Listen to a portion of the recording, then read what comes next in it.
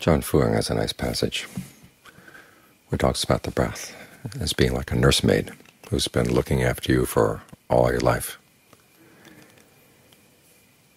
And you haven't paid that much attention to her to see what kind of person she is, why she's been so kind to you.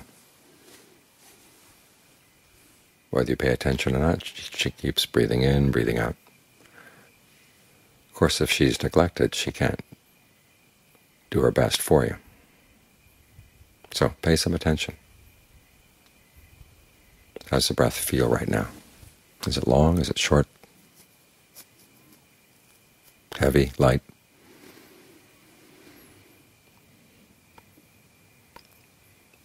And what kind of breathing feels good right now? Because the breath is nourishment for the body. And it's most nourishing when it feels refreshing.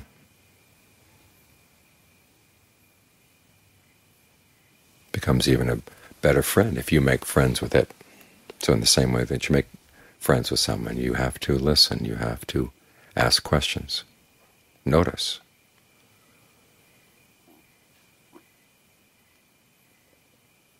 Because people don't tell you all about themselves all at once, and many times it's the things they don't tell you that are most important for establishing a friendship.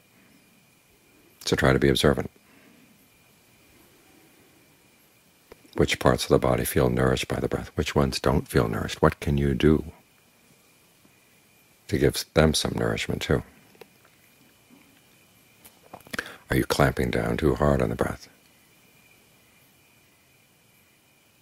Or not enough? This is something you have to learn over time, just like a friendship. You don't become fast friends in a day. It takes a while to get to know the other person. But fortunately, the breath is there to help you.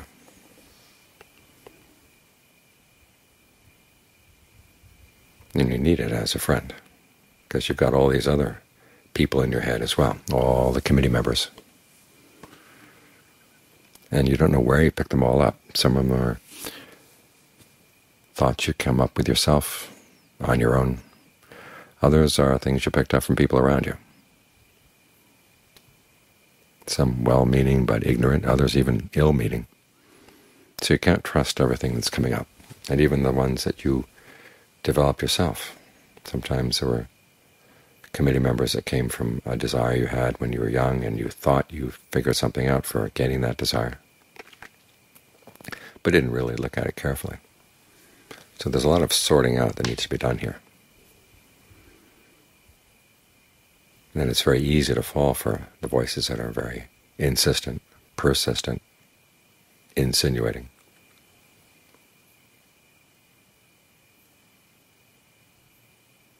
So you need a good friend inside, and it's also good to think of the Buddha as your friend. What would the Buddha say?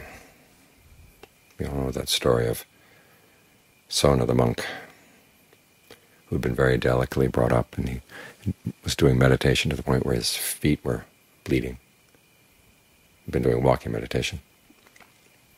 He was getting discouraged. I said, maybe I could just disrobe and go back home and make merit. And the Buddha, who was on Vulture Peak at the time, disappeared from Vulture Peak and appeared right in front of him. Now, how would you feel if the Buddha appeared right in front of you right now? Especially if you're thinking thoughts like that. Sona was pretty embarrassed, but the Buddha wasn't there to embarrass him. He was there to help. He gave him the image of the lute. Sona had played the lute when he was a layperson, and him about the lute when it was tuned too tight or too loosely. In neither case did it sound right. It had to be tuned just right.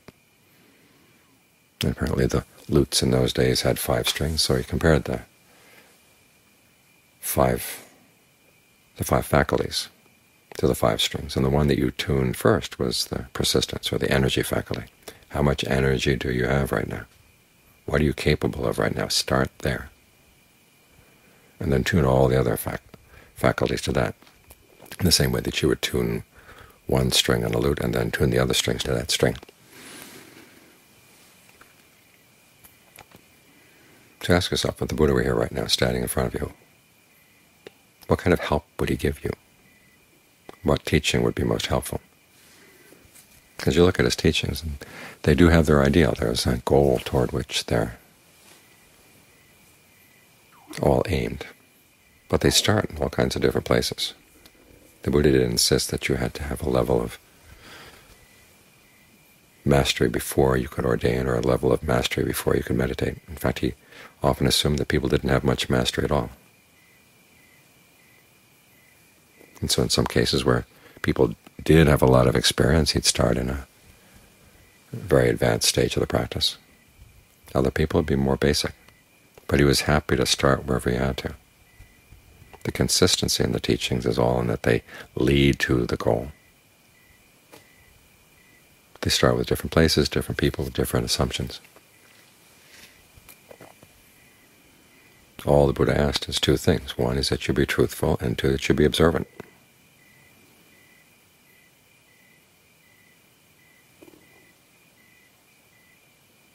So if there are a lot of crazy committee members chattering right now, okay, admit that, but realize also that you don't have to go along with them.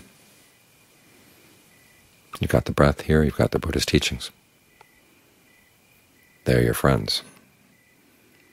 And as the other chant said just now, treat them with respect. Good friends are hard to find.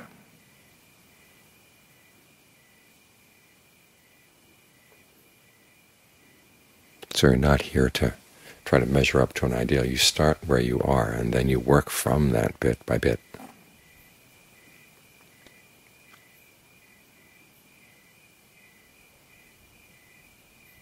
Realizing that being truthful means not only being truthful about where you are, but about the fact that you do have potential. As long as you're truthful specifically about what you do and the results you're getting. That's what the quality of alertness is all about. When you're focusing on the present moment, it's not just a matter of anything coming up in the present. The focus is on what you're doing. Be very clear about that. Then ask yourself, are the results the results you want? And if they're not, what can you change?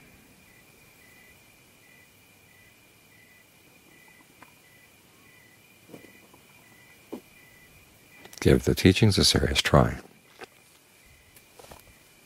They're not all that mysterious. They're very straightforward.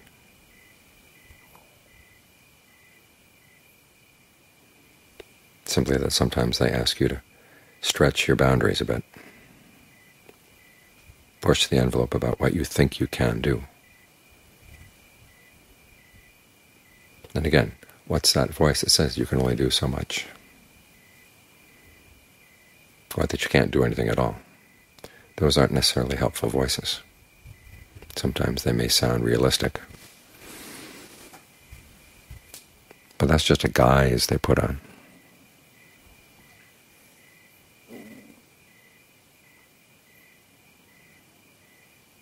You start where you are and you take the next step, and then the next step, and then the next step.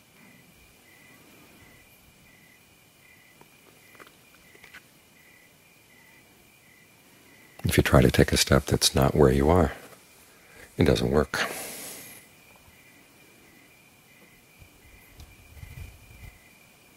So be truthful about where you are and be observant about what can be changed. And remember, you've got the Buddha there. One of the contemplations is reflecting on the Buddha. That can sometimes give you encouragement. Because you look at all the people he taught, everybody from poor people to rich people, sympathize with both. Men, women, children, educated people, cowherds,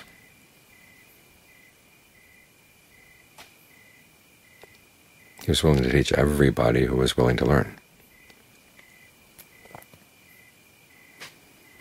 All he asked is that you give his teachings a genuine try.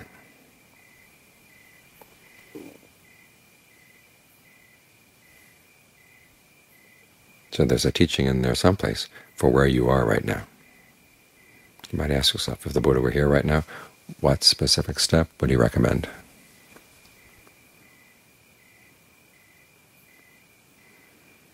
That way you've got two friends. You've got the breath and you've got the Buddha.